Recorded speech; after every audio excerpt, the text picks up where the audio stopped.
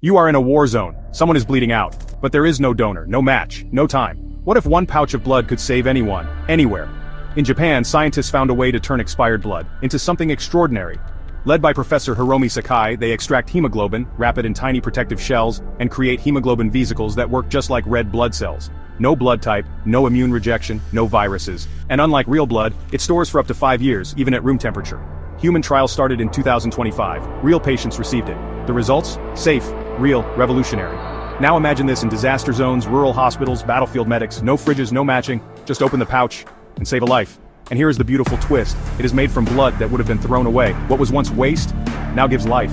This is not just artificial blood, it is a milestone in biotechnology.